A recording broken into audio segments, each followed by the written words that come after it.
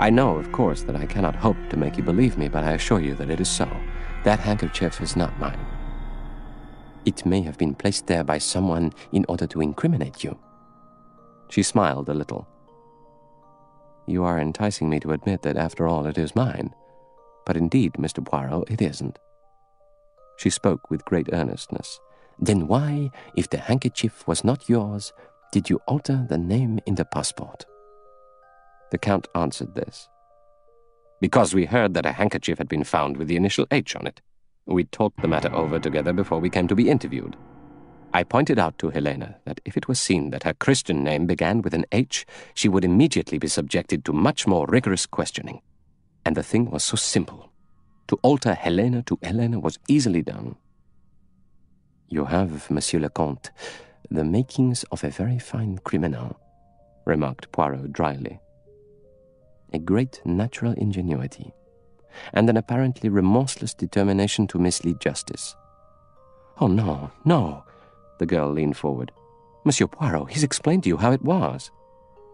She broke from French into English. I was scared. Absolutely dead scared, you understand. It had been so awful that time, and to have it all raked up again, and to be suspected and perhaps thrown into prison. I was just scared stiff, Monsieur Poirot. Can't you understand at all? Her voice was lovely, deep, rich, pleading. The voice of the daughter of Linda Arden, the actress. Poirot looked gravely at her. If I am to believe you, madame, and I do not say that I will not believe you, then you must help me. Help you? Yes. The reason for the murder lies in the past, in that tragedy which broke up your home and saddened your young life. Take me back into the past, madame, that I may find there the link that explains the whole thing. What can there be to tell you? They're all dead, she repeated mournfully. All dead. All dead. Robert, Sonia, darling, darling Daisy. She was so sweet, so happy. She had such lovely curls. We were all just crazy about her.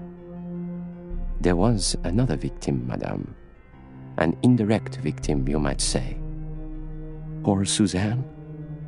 Yes, I had forgotten about her. The police questioned her. They were convinced she had something to do with it. Perhaps she had, but if so, only innocently. She had, I believe, chatted idly with someone giving information as to the time of Daisy's outings. The poor thing got terribly wrought up. She thought she was being held responsible. She shuddered.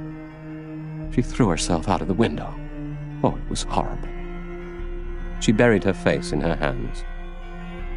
What nationality was she, madame? She was French. What was her last name? It's absurd, but I can't remember. We all called her Suzanne, a pretty laughing girl. She was devoted to Daisy. She was the nursery maid, was she not? Yes. Who was the nurse? She was a trained hospital nurse. Stengelberg, her name was. She, too, was devoted to Daisy and to my sister. Now, madame, I want you to think carefully before you answer this question. Have you, since you were on this train, seen anyone that you recognized? She stared at him. I? No. No one at all. What about Princess Dragomirov? Oh, her. I know her, of course. I thought you meant anyone, anyone from, from that time. So I did, madame. Now think carefully. Some years have passed, remember. The person might have altered their appearance. Helena pondered deeply. Then she said, No, I'm sure. There is no one. You yourself, you were a young girl at the time. Did you have no one to superintend your studies or to look after you? Oh, yes, I had a dragon, a sort of governess to me and a secretary to Sonia combined. She was English, or rather Scotch, a big red haired woman. What was her name? Miss Freebody. Young or old? She seemed frightfully old to me. I suppose she couldn't have been more than forty. Suzanne, of course, used to look after my clothes and made me. And there were no other inmates of the house? Only servants. And you are certain? quite certain, madame, that you have recognized no one on the train? She replied earnestly, No one, monsieur. No one at all. Chapter 5 The Christian Name of Princess Dragomirov. When the Count and Countess had departed, Poirot looked across at the other two. You see, he said, we make progress. Excellent work, said Monsieur Bouc cordially. For my part, I should never have dreamed of suspecting Count and Countess Andrenyi. I will admit I thought them quite hors de combat. I suppose there is no doubt that she committed the crime. It is rather sad. Still, they will not guillotine her. There are extenuating circumstances. A few years' imprisonment, that will be all. In fact, you are quite certain of her guilt? My dear friend, surely there is no doubt of it.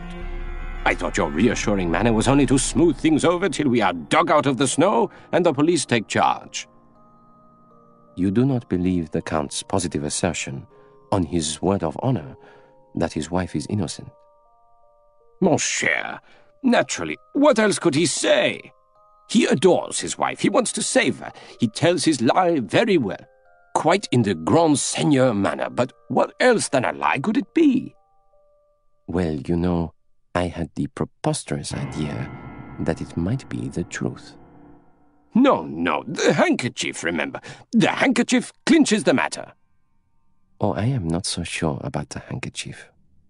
You remember, I always told you there were two possibilities as to the ownership of the handkerchief. All the same. Monsieur Bouc broke off. The door at the end had opened, and Princess Dragomirov entered the dining car. She came straight to them, and all three men rose to their feet. She spoke to Poirot, ignoring the others. I believe, monsieur, she said, that you have a handkerchief of mine. Poirot shot a glance of triumph at the other two. Is this it, madame? He produced the little square of fine cambric. That is it. It has my initial in the corner. But, Madame la Princesse, that is the letter H, said Monsieur Bouc. Your Christian name, pardon me, is Natalia. She gave him a cold stare. That is correct, monsieur. My handkerchiefs are always initialed in the Russian characters. H is N in Russian. Monsieur Bouc was somewhat taken aback. There was something about this indomitable old lady which made him feel flustered and uncomfortable. You did not tell us that this handkerchief was yours at the inquiry this morning. You did not ask me, said the princess dryly. Pray be seated, madame, said Poirot. She sighed. I may as well, I suppose. She sat down. You need not make a long business of this, monsieur. Your next question will be How did my handkerchief come to be lying by a murdered man's body? My reply to that is that I have no idea. You have really no idea? None whatever. You will excuse me, madame, but how much can we rely upon the truthfulness of your replies? Poirot said the words very softly. Princess Dragomirov answered contemptuously. I suppose you mean because I did not tell you that Helena Andrenyi was Mrs. Armstrong's sister. In fact, you deliberately lied to us in the matter. Certainly. I would do the same again. Her mother was my friend. I believe, messieurs, in loyalty to one's friends and one's family and one's caste. You do not believe in doing your utmost to further the ends of justice. In this case, I consider that justice, strict justice, has been done. Poirot leaned forward. You see my difficulty, madame. In this matter of the handkerchief, even, am I to believe you? Or are you shielding your friend's daughter? Oh, I see what you mean. Her face broke into a grim smile. Well, monsieur, this statement of mine can be easily proved. I will give you the address of the people in Paris who make my handkerchiefs. You have only to show them the one in question, and they will inform you that it was made to my order over a year ago. The handkerchief is mine, monsieur. She rose. Have you anything further you wish to ask me? Your maid, madame. Did she recognize this handkerchief when we showed it to her this morning? She must have done so. She saw it and said nothing.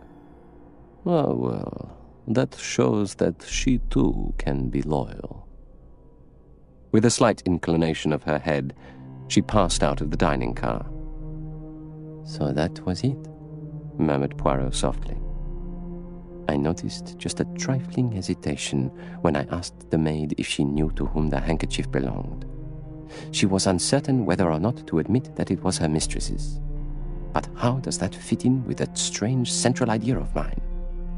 Yes, it might well be. Ah, said Monsieur Bouc with a characteristic gesture. She is a terrible old lady, that. Could she have murdered Ratchett? asked Poirot of the doctor. He shook his head. Those blows, the ones delivered with great force, penetrating the muscle, never, never could anyone with so frail a physique inflict them.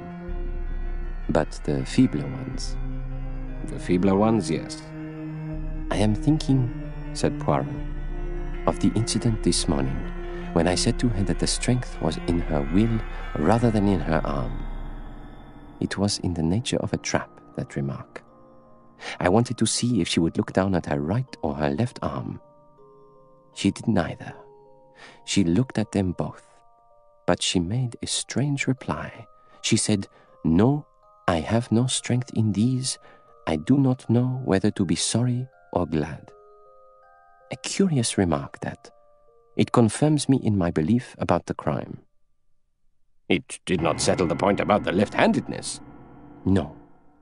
By the way, did you notice that Count Andrenyi keeps his handkerchief in his right hand breast pocket? Monsieur Bouc shook his head. His mind reverted to the astonishing revelations of the last half hour. He murmured, Lies, and again lies. It amazes me the amount of lies we had told to us this morning. There are more still to discover, said Poirot cheerfully. You think so? I shall be very disappointed if it is not so. Such duplicity is terrible, said Monsieur Bouc. But it seems to please you, he added reproachfully. It has this advantage, said Poirot. If you confront anyone who has lied with the truth, they usually admit it, often out of sheer surprise. It is only necessary to guess right to produce your effect. That is the only way to conduct this case. I select each passenger in turn, consider their evidence, and say to myself, if so and so is lying, on what point are they lying, and what is the reason for the lie? And I answer, if they are lying, if, you mark, it could only be for such a reason and on such a point. We have done that once very successfully with Countess Andrenyi. We shall now proceed to try the same method on several other persons. And supposing, my friend, that your guess happens to be wrong? Then one person, at any rate, will be completely freed from suspicion. Ah, a process of elimination. Exactly. And who do we tackle next? We are going to tackle that Pukka Sahib, Colonel Arbuthnot. Chapter 6 A second interview with Colonel Arbuthnot. Colonel Arbuthnot was clearly annoyed at being summoned to the dining car for a second interview. His face wore a most forbidding expression as he sat down and said, Well? All my apologies for troubling you a second time, said Poirot. But there is still some information that I think you might be able to give us. Indeed? I hardly think so. To begin with, you see this pipe cleaner? Yes. Is it one of yours? Don't know. I don't put a private mark on them, you know. Are you aware, Colonel Arbuthnot, that you are the only man amongst the passengers in the Stamboul Calais carriage who smokes a pipe? In that case, it probably is one of mine. Do you know where it was found? Not the least idea. It was found by the body of the murdered man. Colonel Arbuthnot raised his eyebrows. Can you tell us, Colonel Arbuthnot, how it is likely to have got there? If you mean did I drop it there myself, no, I didn't. Did you go into Mr. Ratchett's compartment at any time? I never even spoke to the man. You never spoke to him, and you did not murder him. The colonel's eyebrows went up again sardonically. If I had, I should hardly be likely to acquaint you with the fact. As a matter of fact, I didn't murder the fellow. Ah, well, murmured Poirot. It is of no consequence.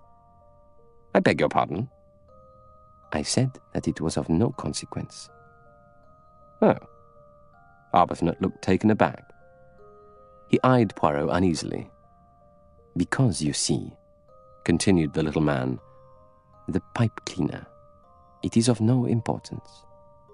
I can myself think of eleven other excellent explanations of its presence. Arbuthnot stared at him.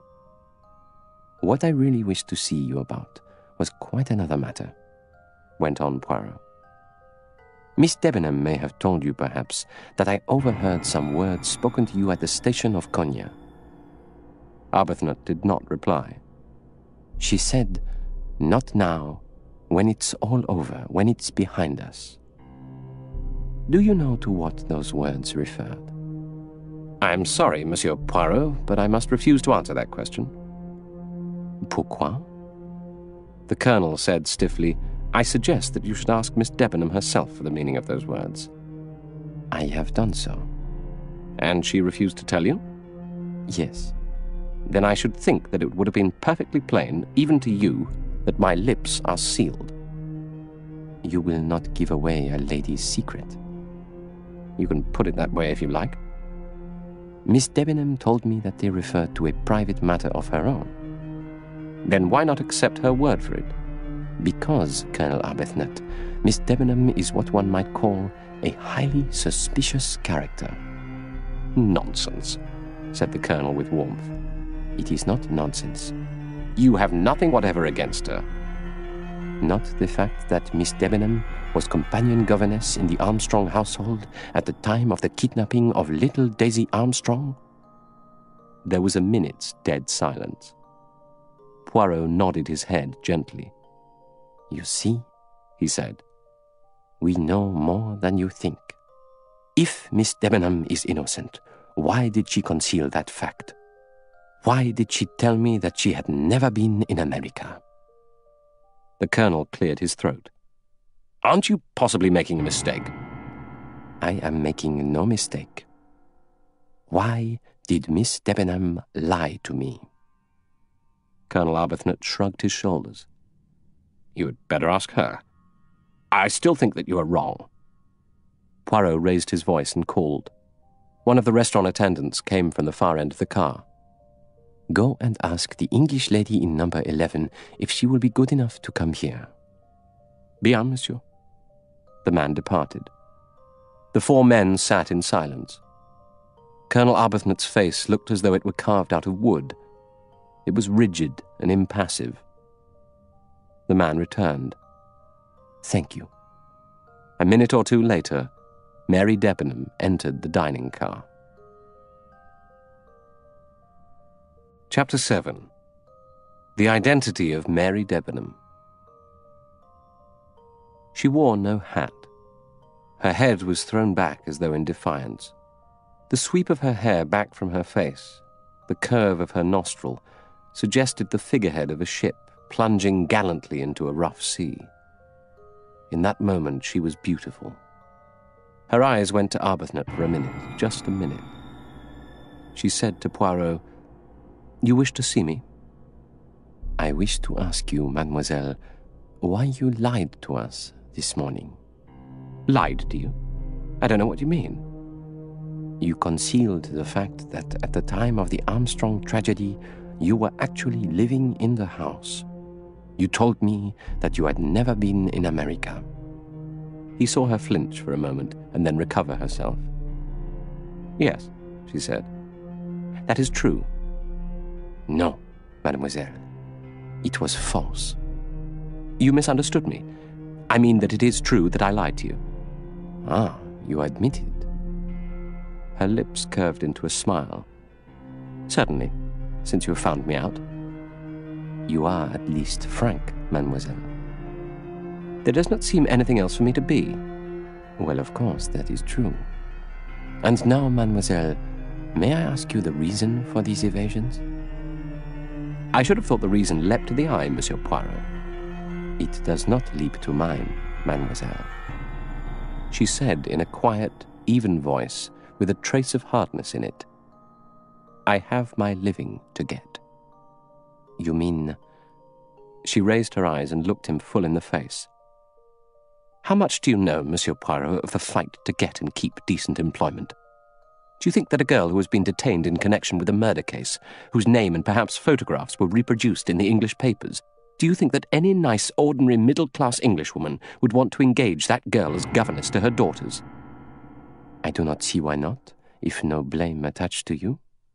Oh, blame. It is not blame, it is publicity.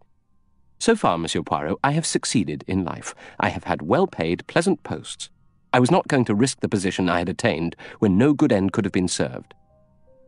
I will venture to suggest, mademoiselle, that I would have been the best judge of that. Not you. She shrugged her shoulders. For instance, you could have helped me in the matter of identification. What do you mean? Is it possible, mademoiselle, that you did not recognize in the Countess Andrenyi Mrs. Armstrong's young sister whom you taught in New York? Countess Andrenyi? No. She shook her head. It may seem extraordinary to you, but I did not recognize her. She was not grown up, you see, when I knew her. That was over three years ago. It is true that the Countess reminded me of someone. It puzzled me. But she looked so foreign, I never connected her with the little American schoolgirl. It is true that I only glanced at her casually when coming into the restaurant car. I noticed her clothes more than her face. She smiled faintly. Women do. And then, well, I had my own preoccupations. You will not tell me your secret, mademoiselle. Poirot's voice was very gentle and persuasive. She said in a low voice, I can't. I can't.